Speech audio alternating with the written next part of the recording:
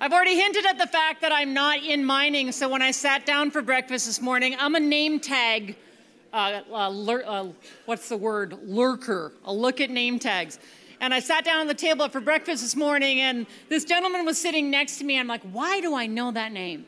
And as MC, I've got to go through my script and I've got to make sure I figure out what I'm going to be doing. And this name was kind of top center right after the break today. Uh, and it is the gentleman that we're about to hear from. And I've decided that as little that I know about mining, that he's probably, you remember the, the most interesting man in the world? The, the guy who sells the Cuervo tequila or whatever it is? I think that this individual is probably the most interesting man in mining.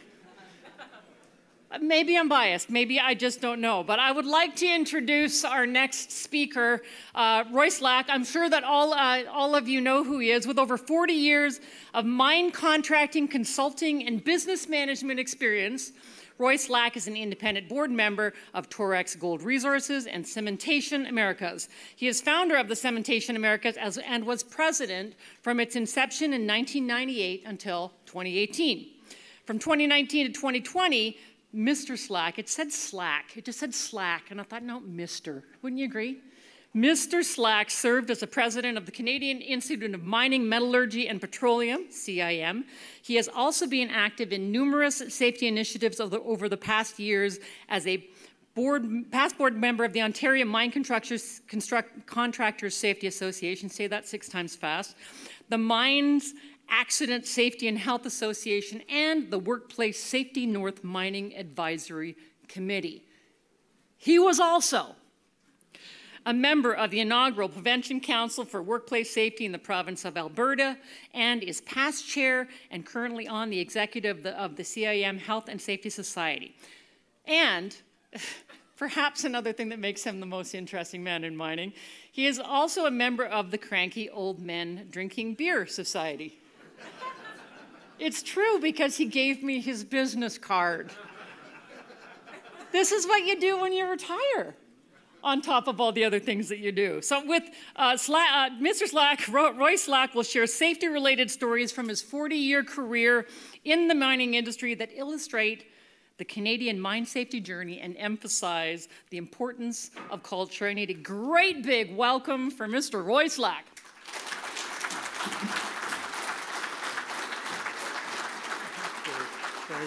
Thank you, you. It's so great to be here, but I, I was inspired by Dr. Ramit's uh, talk this morning, and so I'm going to share something very personal with you. Is uh, the beatings at home have to stop. if you're a Leafs fan, you'll. This is Syria. This is this is mental health. If you're a Leafs fan, You'll know what I'm talking about. I, I want to see the Leafs win the cup again, this time in color. so that may give you an idea about my, about my age. Uh, I'm going to talk to you today about safety shares. I'm going to give you a number of safety shares, and these are personal experiences of mine over the last 45 years uh, in this industry. I'm not going to mention names and I'm not going to mention projects or work sites or companies. It's a no name, it's a generic presentation, so to speak. What I am going to do is share with you either lessons learned or uh, things to think about or ideas. There's lots of opinions in this, so, so bear with me. 40 years of health and safety shares. And I've shared some of these in the past. The ones I've shared before, I'm going to give a little background on. Some of them are I've never shared before, unshared safety shares until now. And one of the things about leadership is storytelling. You need to be able to do that no matter who you're leading, whether it's a crew, a shift, a company, you need to be able to tell stories. And safety shares are just that. It's storytelling. So I have a few of my own guidelines, and you'll see these throughout, but I put them on the screen for you. And first of all, I like to talk in the first person narrative, and what I mean by that is a safety share. I was there. Happened to me, I was part of it.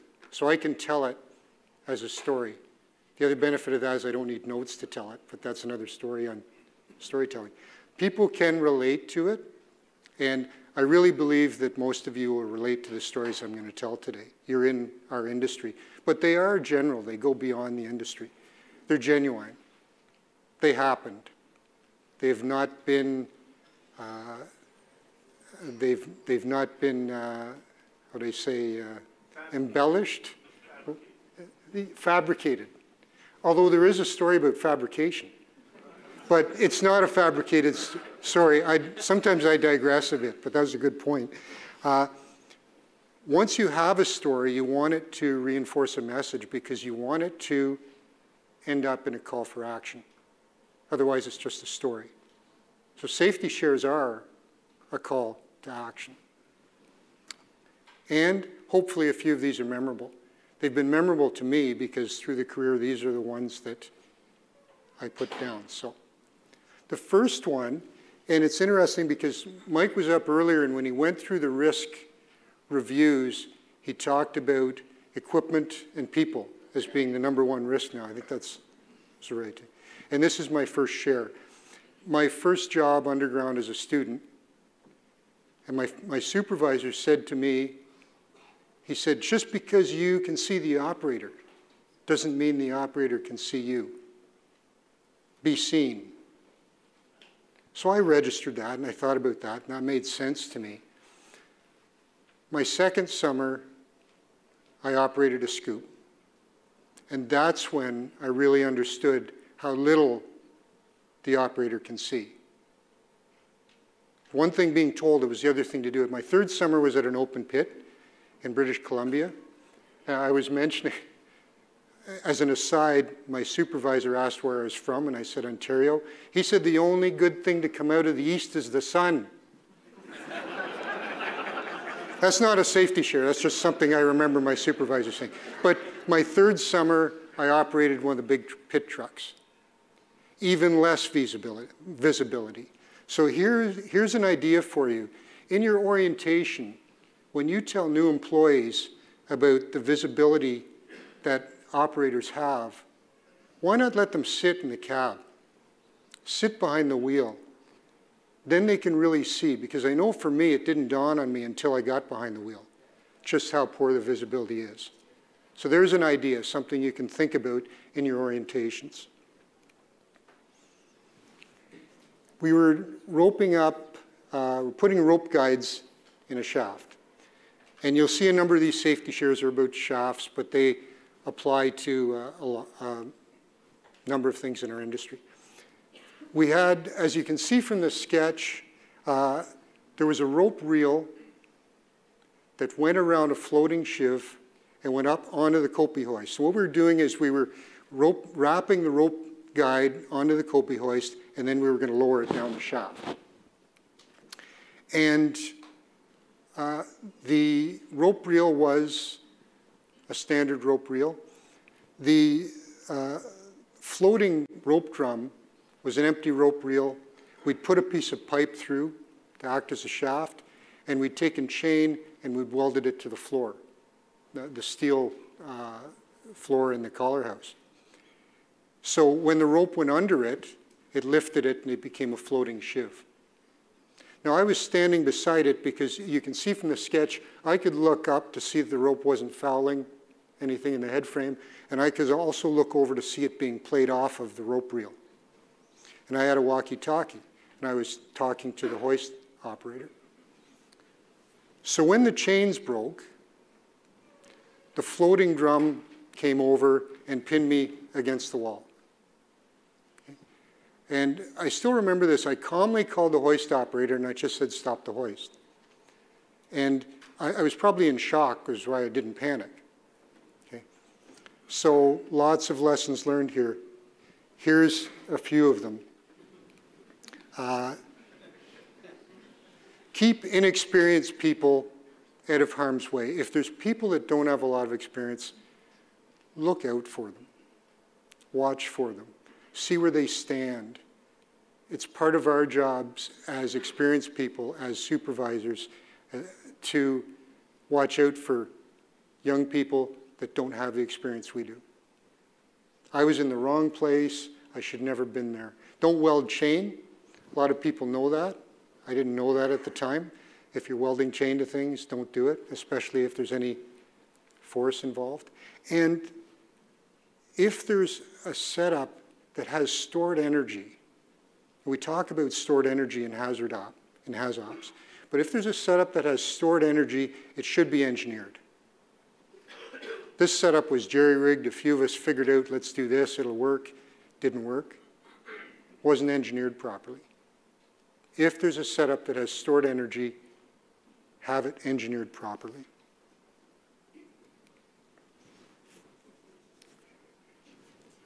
My first shaft project and my supervisor said, don't drop anything down the shaft. You might hit one of my good shaftmen. Then he walked away. Then as an afterthought, he did, he came, he came back. He said, don't fall down the shaft because you might hit one of my good shaftmen. so I remember that story. Uh, Leo Burnett is a famous New York marketing guy, uh, but, but I thought this was an interesting quote. This was a safety share, very simple, memorable, funny, and in our business of shaft sinking, very important. Don't drop anything down the shaft, ever.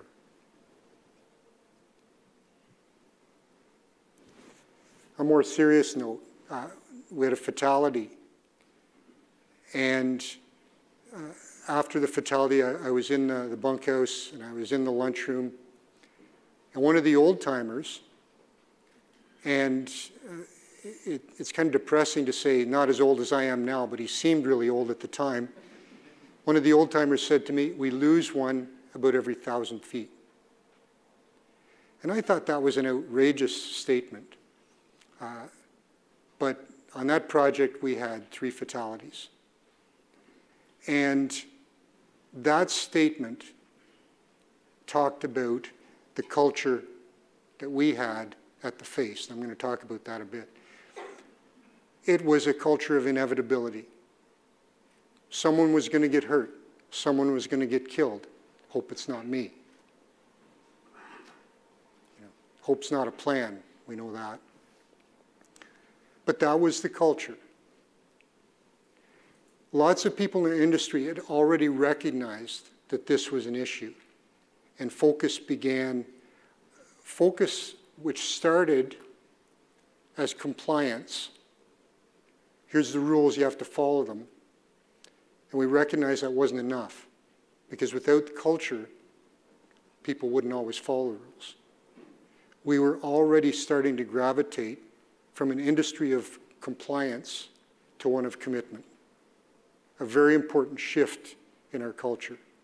But this was at a time when the industry was just looking at compliance, doing what we had to do to get by, and it wasn't working.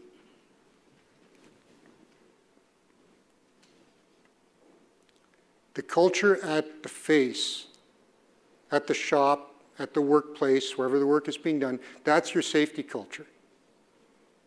It's not what me as the president or the CEO tells you. It's not what the posters on the wall say. It is what the workforce at the face sees and feels. That is your safety culture, and you need to be in tune to it. And, and I feel that's a fact. Now, here's an opinion, because there's lots of talk about zero harm. But my own feeling is if you don't believe in zero harm, if your organization does not promote zero harm, if you're not committed to zero harm, then you have a culture of inevitability. Someone's going to get hurt some point in time, and it'll be a self-fulfilling prophecy. Opinion. Another shaft project, and I was in the collar, and they rang up from down below, and the leaders said, we're not going to make the blast. They had to make the blast. Supposed to make the blast. Got to make the blast. Weren't going to make the blast. So I had to tell the shaft super. And I know I was going to get a blast, not the right blast. And because he, he was an ornery guy at the best of times. He was in a bad mood that day. Uh, I called him and told him, and I could see him run out of the trailer and run towards the shaft. Got to the collar. The crew was 3,000 feet down drilling. He was at the top of the collar, and I learned some swear words I had never heard before. he cursed that crew down at the collar. Of course, they couldn't hear him, they were down there drilling. Then all of a sudden he stopped and he went back to his office. At the end of the shift, the leader came up and said to me, You'd never believe what I found on the blasting set false teeth. He'd lost his upper plate. So I would tell this story to our shaft crews, and of course, remember in the storytelling I said, you need to have a moral. And of course, the moral is never drop anything down the shaft, not even your false teeth. So imagine my surprise when I did a site visit and I look up on the wall, and this poster, oh, I'm pointing to it, this poster is on the wall at one of our projects. And if you read through it, it's don't drop anything down the shaft, hard hat, safety glasses, wrench, plumb bobs, false teeth, anything. And that was kind of special for me. Someone had actually heard my story and remembered it, uh, so that was kind of special. But another idea, if you have a great story, and there's, there's so many great stories in our industry, and you can attach a moral to it, use it, pay it forward, tell that story because those are memorable. Those are things people will remember. How many people, I can't see anyone because of the lights, but how many people have worked in the Alimak raise? Okay. Uh, if you've worked in the Alimak raise, you probably haven't worked in a knuckleback raise. And I'm not sure if anyone has.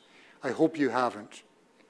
Uh, typically what happens when we drive a raise is the rail is on the hanging wall and the climber drives the raise and the crew excavate. When we are dumping ore or waste from a level, often we'll have a finger raise, which the muck goes from that finger raise into the raise. So you can see the picture is there's a dumping point up above a finger raise, probably more of an angle than it's shown there. So what someone decided to do uh, is instead of doing this as an open raise or a cribbed raise or a drop raise, let's just put the rail on the footwall and just keep driving the Alimak up. Uh, that was a bad idea. And I was in the raise with a student, and we were going up the raise. We ran around the curve and we're at the face. The, the Alimak, the way it's set up, is the, the platform is set up at the angle for the raise you're driving. So when you go around that corner, all of a sudden, nothing is set up right. And I went to open the door to get out of the cage. And when I opened the door, the door came back down and severed my thumb.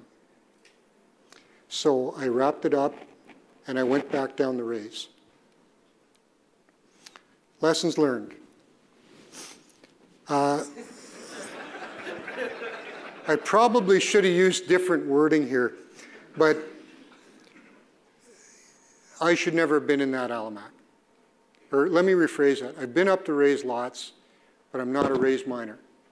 I'm not trained to operate that piece of equipment and to send me up there on my own with a student, no less, was wrong. And I should have said something. I should have spoke up and said, I shouldn't be going up there. I need uh, a leader. I need an Alimak miner to come with me. Second thing, we developed the methodology again without any kind of hazard analysis to see what was going to happen when things changed. That all that equipment was designed to go up a raise at that angle. As soon as you turn all that equipment this way, everything changes. And you can't change uh, people that know Alimak know that the, uh, the, the support arms are a certain length so that the platform is at a certain angle when you're driving the raise. Now, to go around that curve, you would have probably had to change those arms, which you couldn't do in mid-raise. Anyway, I'm getting into too much detail. The, the, the main thing is that we changed, significantly changed a methodology without doing the proper hazard analysis, and, and a, a clueless young engineer was hurt in the process.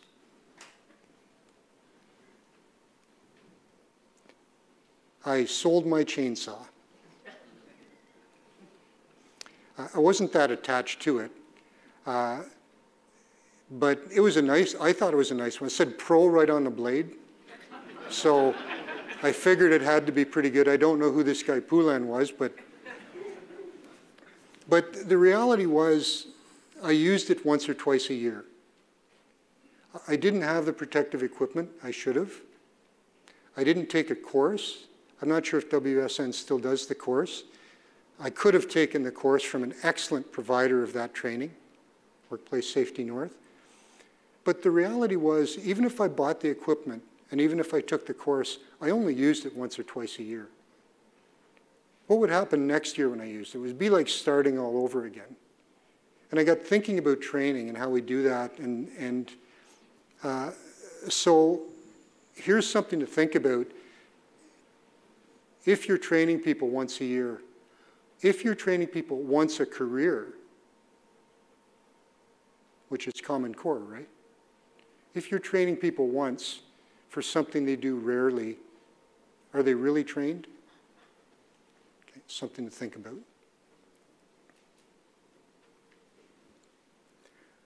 Another shaft project, and we were in a, a, station, and the stations are always tricky, the, the brow, because uh, between, between the blasting, the change in ground, structure, there's a number of things at play. But this station was pretty good ground. Not, not the one in the picture, but the station was pretty good ground. And it had been supported into the last blast. Night shift had blasted. Our day shift supervisor told everyone, nobody's going in there until I take a look. and he was very safety conscious. And he went down there he took a look.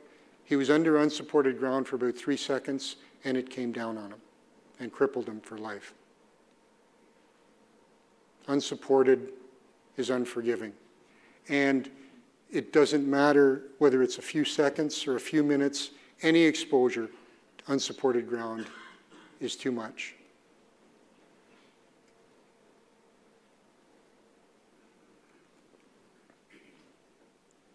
In my introduction, it was mentioned that I am a member of Cranky Old Men Drinking Beer. This, this has nothing to do with that.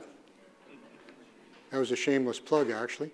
Uh, but this was an incident imaging or an accident imaging. This is a tool that we were using, and some of you may have used this tool before. Uh, this was a startup contractor. I was running the business, but when you start a business, you're also running the jobs. So I was a night shift supervisor on this job after my day, my day job. The, what we did was each shift, one of the crew members gave what we called an accident imaging. And to, for those of you that aren't familiar with this type of safety share, what you do is you imagine an incident that could happen. You explain the consequences of that action, and then you explain how we can prevent that from happening. Very simple. So, young construction miner, and, and I, I should say the crew is doing an excellent job at this. I saw some really impressive presentations uh, over the course of the project. This young construction miner got up and he said, uh, after six or seven beers, twisting the top off, Consequence, you can cut your hand. Prevention, use a bottle opener. And I looked at his hand and there was a band-aid around his finger. And it dawned on me, these aren't imagined incidents at all. This accident imaging tool we were using, people were talking about things that had happened to them that they hadn't reported or didn't feel were worth reporting. But it's far easier for us to talk about something that happened than to try and imagine something and make something up. This is what was happening with our, our incident imaging. And it brings the question for, for management if someone presents an imagined incident that may have really happened, what do we do about that? We know what we do when something happens, when something's reported. The other thing I did because I could see this, this young man was self-conscious because there really were some pretty fancy presentations, uh, and his was a very simple one. So right after I came up to, I came up to him and I said, you know what? That's a great safety shirt. And I said, I have a few beers every now and then, and from now on, I'm going to use an opener. And, and I do, by the way. That's a, another story. But the, the point here is positively reinforce as soon as possible safety shares, reporting, the things we want to see. And I'm going to talk about that in a minute, too. this was, uh, I was called as a expert witness at an inquest. And anyone that's been involved in an inquest knows it's not a pleasant experience. Uh, there's, there's lots of emotion. And I was there as an engineer to talk about this, so I'm gonna, that's what I'm going to do. I'm going to talk about the engineering portion of it. Uh, and those of you familiar with uh, legislation in Ontario, uh, mining industry is one of the industries that if there is a fatality, there is an inquest. Uh, it's a painful process, but it's important because there's lessons learned that we as an industry need to know. Legislation has been changed over the years for the better because of this, of this process. This particular incident, it was a raise, a drilled and blasted raise, and the crews were putting a, a ladderway in from the top down. So this was a work stage. It was supported by a cable to a winch up top. And the idea was that this stage would be lowered as each section of the manway was put in, or the ladderway. So the design of the stage, occasionally the stage had to go back up. So the engineers wanted to design it, design it like, like a sleigh runner, okay? So with that curve in it, so it, it could go back up. So you can see the design um, on your left, the larger picture. And this is just the, the base. I, I haven't shown the whole platform or the structure. So the first design was a welded connection at that runner. And the engineers looked at that and they said, that's a weld in tension. It's going to get a lot of work and we need a plan B. So they designed a gusset plate to go around it. And you see the gusset plate with the four bolts. And then you see the design in, in the, uh, I'm getting my directions, on your right at the top was the design. So it was a gusset plate with four bolts that went right through the HSS beam. What you see in the bottom right-hand corner is what was actually fabricated. So you mentioned a fabricated story. This is a fabricated story. Uh, this is what was actually fabricated two bolts. So when the weld failed, the connection just acted like scissors, came apart, and it actually sliced the bolt. The work stage went down the shaft, and one of the miners was killed. So this is what happened. So there's obviously, there's a lot of lessons learned from this. Uh, I like to avoid welds and tension whenever possible. Uh, in the work we do in shaft sinking, you have a lot of work platforms. Uh, anytime you can design that uh, without that weld in tension, go for it. It's just an engineering comment. Confirm that what is designed is what is built. That's in the act now. And it may have come from, I don't know if it came from this inquest or not, but that was a change to the act. And now a professional engineer, their designate, is to confirm that what was designed is what was built. The other important thing is that the engineers didn't realize the service that this stage would go through. And they thought only occasionally would it go up. But the reality was in the process, it went up quite often. And every time it went up, it caught on the screen on the footwall. So they would just crank up the winch, and when that came loose from the screen, it would bounce. So there was all kinds of forces at play there that hadn't been designed in. The stage wasn't built as it was designed.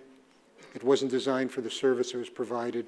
It's so important that the engineers that do the design understand how it's being used and see it in the field.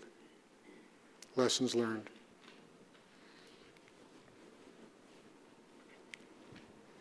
Uh, Dr. Ramit had talked about change.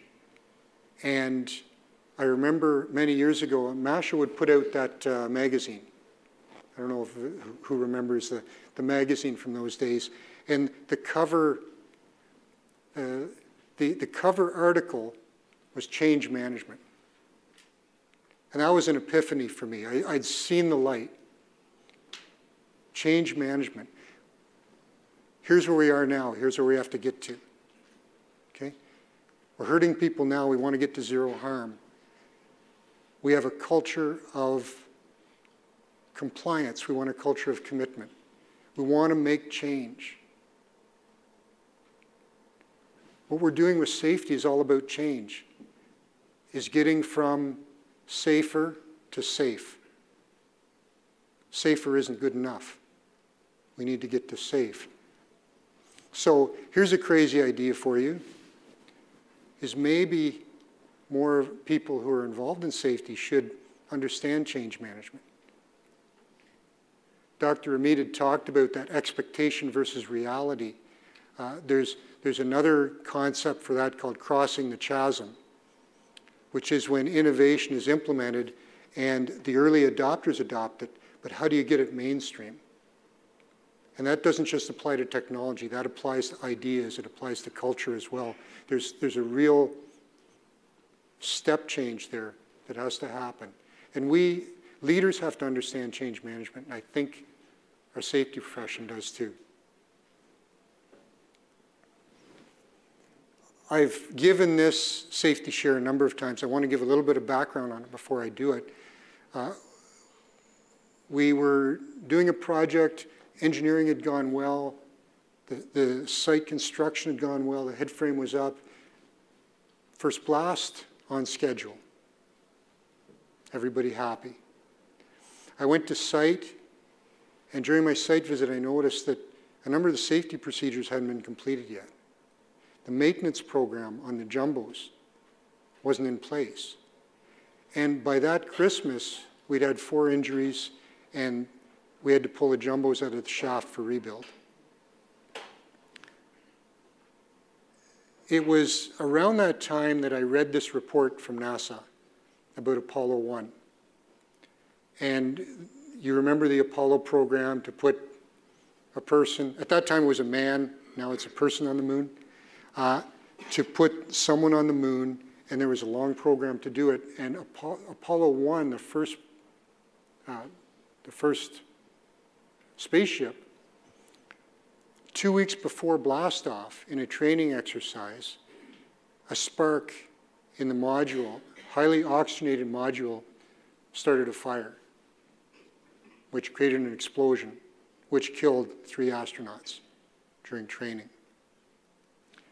As you can imagine, there was a very detailed incident investigation about these fatalities. And what they determined, they coined a term called go fever. And they, they talked about the, the milestone of doing that blast off on time and sometimes taking risks in order to meet those critical schedule dates. And then in the report, I still remember the terminology they used. They talked about the, the macho go hard or go home attitude of the management and the astronauts. Sound like mining to you? it sure sounded like mining to me. And that's when I talk about this go fever because I, I, saw it on a job site and then I saw it in this report. Use pre-development audits, and in those audits, make sure safety procedures are in place, the maintenance programs are in place, the staffing, the training, all those things that are important to start the project are in place. But more important than that is, and I, I've lived in a project world for most of my career, the owner, the contractor, project management, everyone has to be committed to making sure you don't start until everything you need to do the job safely is in place.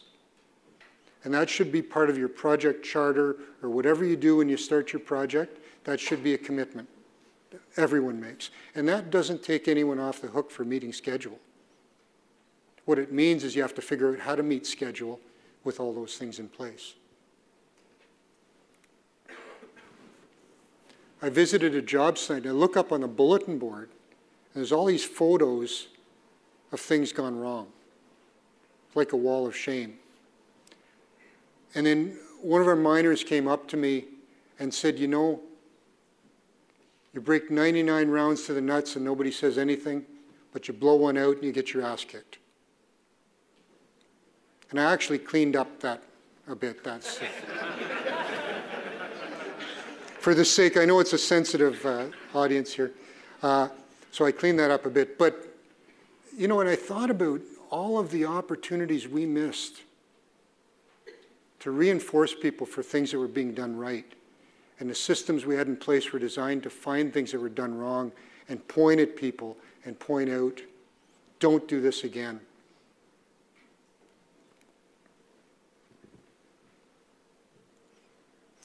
So my ideas aren't very deep. I, I, do have some deep ideas later. I'll get into that later. But this is pretty simple. It's a basic management concept, and we should use it in safety too. Let's watch when people do things right and thank them for it. Positive reinforcement. It's actually very simple to do, but one of the things you have to do is you have to actually think about it. You have to go in with that mindset. Today, on this inspection, I'm going to look for things that are done right.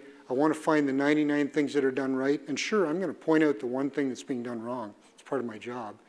But probably more important is to reinforce those positive things you see so that they happen again and again. Mucking out a shaft station with an Eimco mucker, that's a, if that machine looks nasty, there. Uh, it's because it is. I don't know how many people have operated one of those. I was terrible. And uh, they're a very tricky piece of machinery to operate. But we had a very good operator running it. And he saw the loose, there wasn't loose, he saw the face and there was some muck that they were undercutting. So they knew it was going to come down. And he thought he could get away in time. And uh, he couldn't. And it came down, it caught the back of his leg, and he had a very severe laceration, a lot of stitches all along the, the calf area. He was actually lucky, it wasn't worse than that. But when we did the investigation, asked him if he had seen the hazard, and he said yes. But he figured he could get out of the way in time. It wasn't his fault. Low air pressure. Machine didn't move as fast as it should have.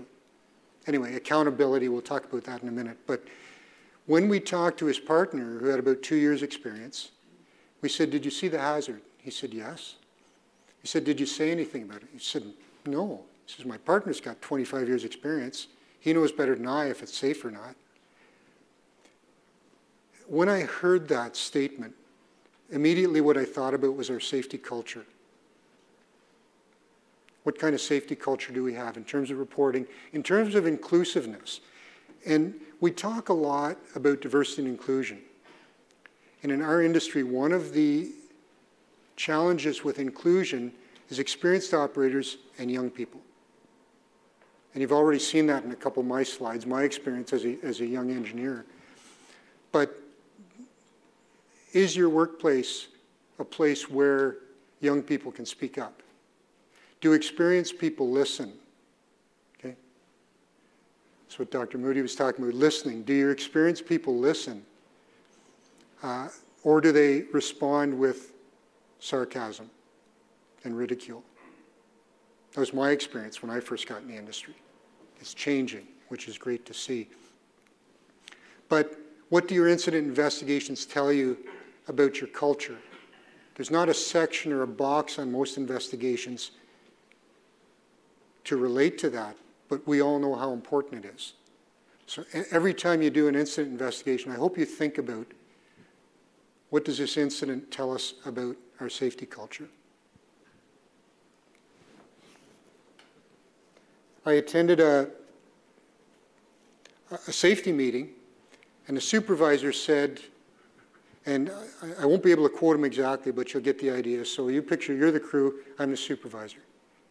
And he goes, Listen up. He said, You don't want your best friend and your wife spending your life insurance money.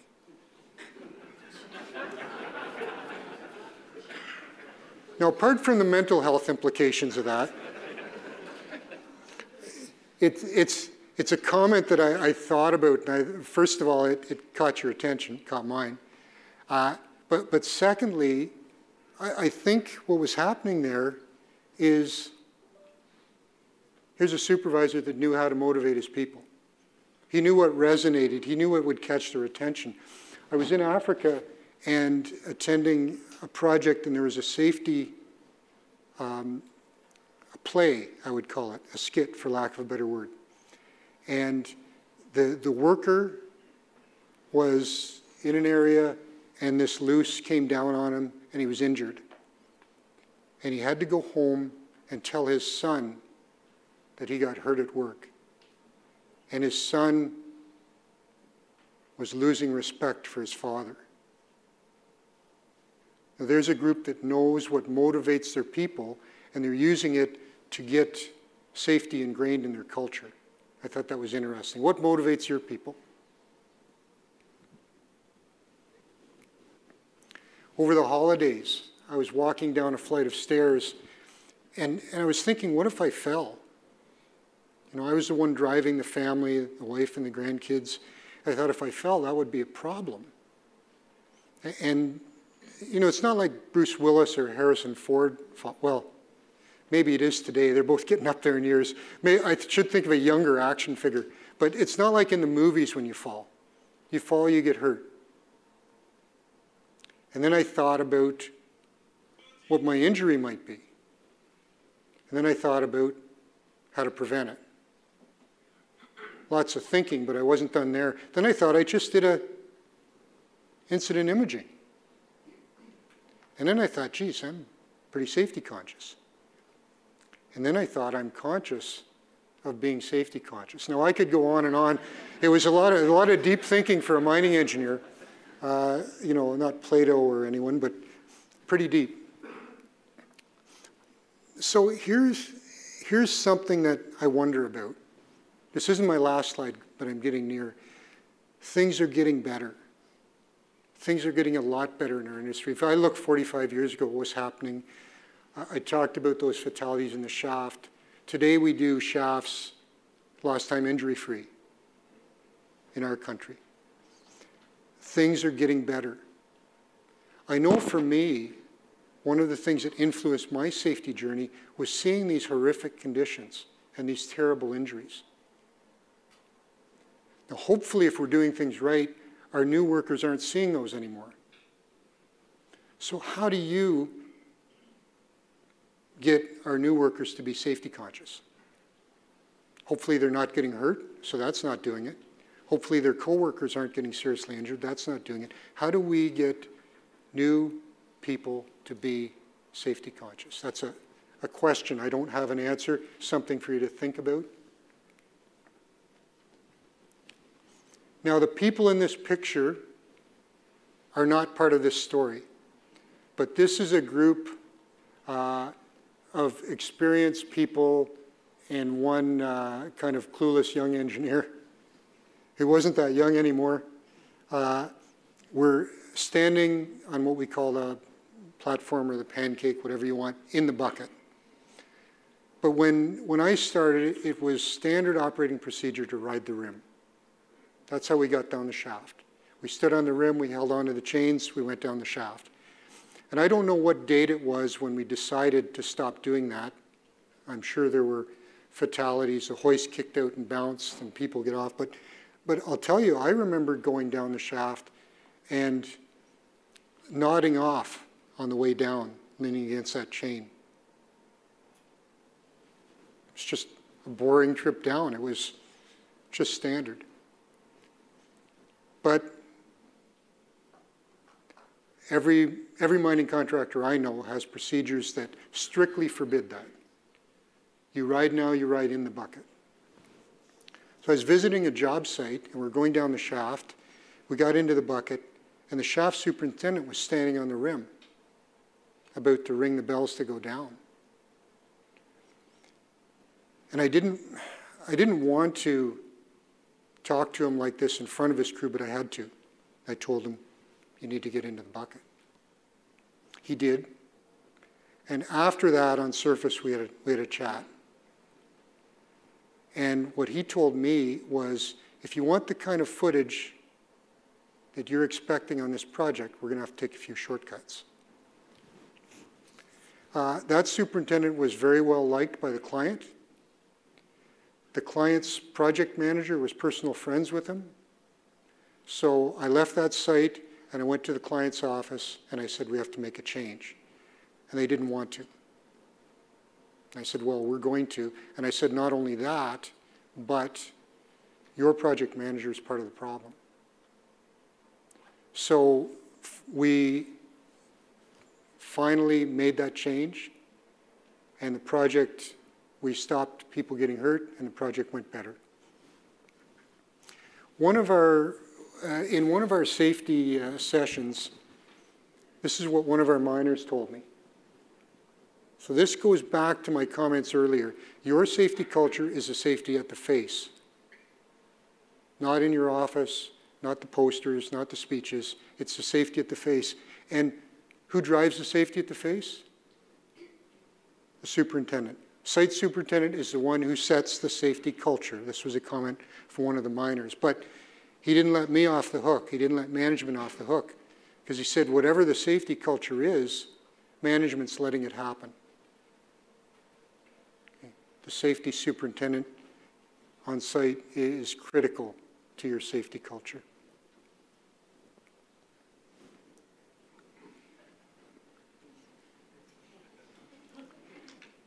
There's, over the years, when I, and when I did this presentation, I thought back to all the times that I was injured or almost injured and all the things that happened. And I thought about what I was doing or not doing when all is said and done, with all the systems, with everything in place, we're accountable for our own safety. And we all have to think about that. If you're in a situation that's unsafe, you speak up. There's processes. If people aren't listening, you take the next step. If you're with an employer that's not concerned about safety, quit. Leave before they carry you out. Responsible for your own safety. This safety, uh, this talk is a white paper. Uh, CIM Health and Safety Society has put it together as a white paper. Uh, Samantha Espley is in the room. Samantha is the incoming uh, chair of the CIM Health and Safety Society. It's a great group. If you're a CIM member, join it. If you're not, join CIM and join it. That's my plug. If you want a copy of this uh, white paper, uh, there's my email address. Feel free to send me a note. And thank you for being here. I'm preaching to the choir, as they say, but thank you for everything you do to keep our people safe. Thank you.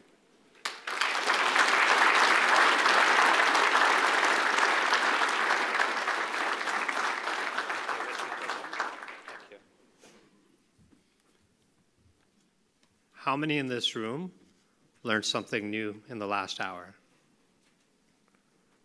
Almost everyone. I've had the privilege since 2005 of being in the room with Roy on multiple occasions, and every time I learned something new.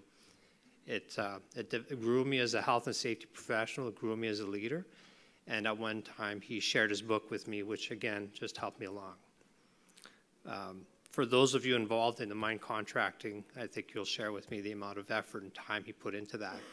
Going to a mine contractor safety association meeting was very different for me in 2005, and we showed up there, and I was trying to learn to get to know everybody.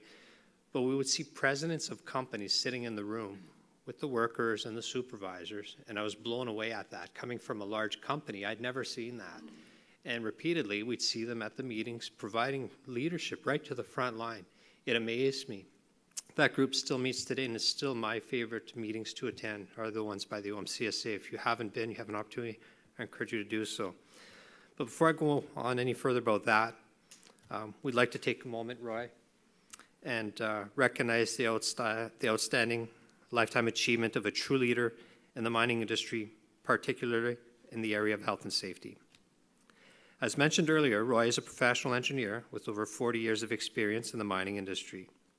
In 1998, he started Cementation, a mining contracting company.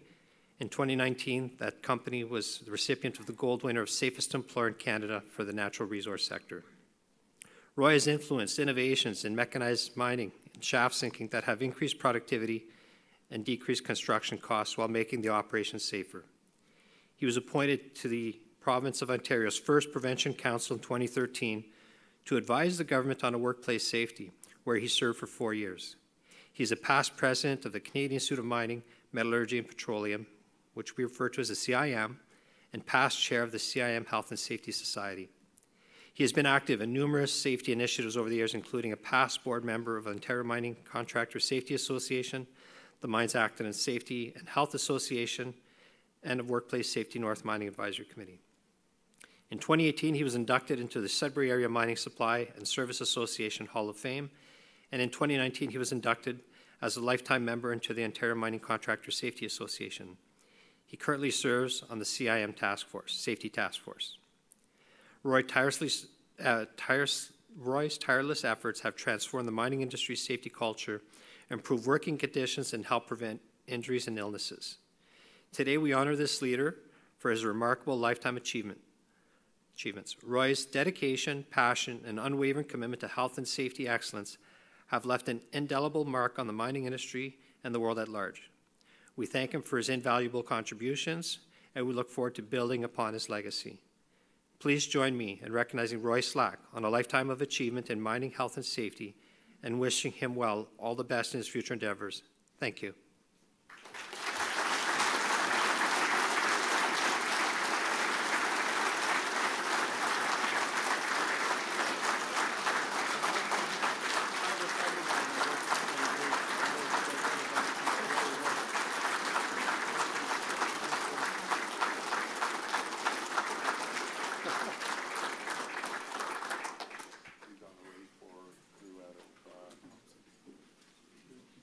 What a night, I'm almost speechless.